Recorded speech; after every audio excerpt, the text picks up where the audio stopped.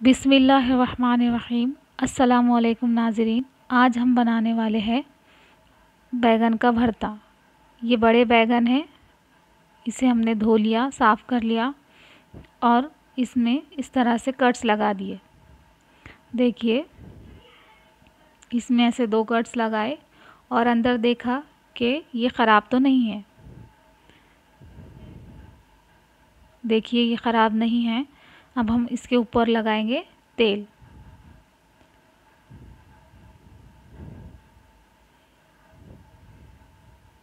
तेल लगाने से काफ़ी आसानी से इसका छिलका निकल जाता है। अब इस दोनों बैगन पर हमने लगा लिया तेल।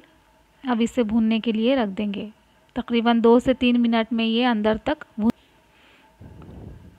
देखिए, ये दोनों भी भुन गए हैं। अब ये इसे थोड़ा ठंडा होने देंगे। उसके बाद इसका छिलका हम निकाल लेंगे। देखिए, इसका छिलका निकाल दिया है।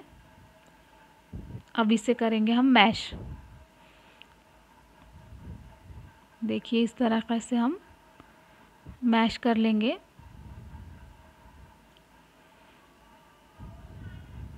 काफ़ी आसानी से ये मैश हो जाएगा। भूनने की वजह से ये अंदर तक पक चुका है। बहुत अच्छा स्मोकी फ्लेवर आता है इसमें। अब हम तैयार करेंगे हरी चटनी। इस हरी मिर्चें ले लेंगे हम आठ से दस अदद, हरा धनिया और लहसुन। इसे हम ग्राइंड कर लेंगे। अब ले जिससे हम बैगन का भरता बनाना शुरू करते हैं। अब हम लेंगे एक पैन पैन में डालेंगे तेल। तेल थोड़ा ज़्यादा ही ले। भरते में तेल ज़्यादा बहुत अच्छा लगता है, टेस्टी बनता है। अब इसमें डालेंगे प्याज चॉप की हुई, एक मीडियम साइज़ की। इसे अच्छा गुलाबी होने देंगे। अब इसमें डालेंगे ये जो मसाला है हमने ग्राइंड किया है, उसे हम डाल देंगे। इसे अच्छी तरीके से भून लेंगे।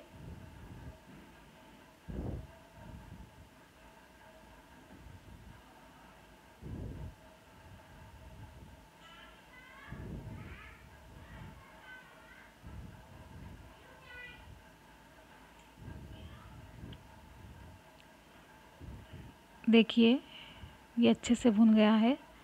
अब इसके अंदर डालेंगे ज़ीरा पाउडर, हल्दी और नमक।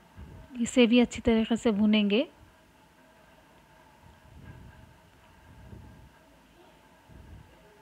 झटपट तैयार होने वाला है ये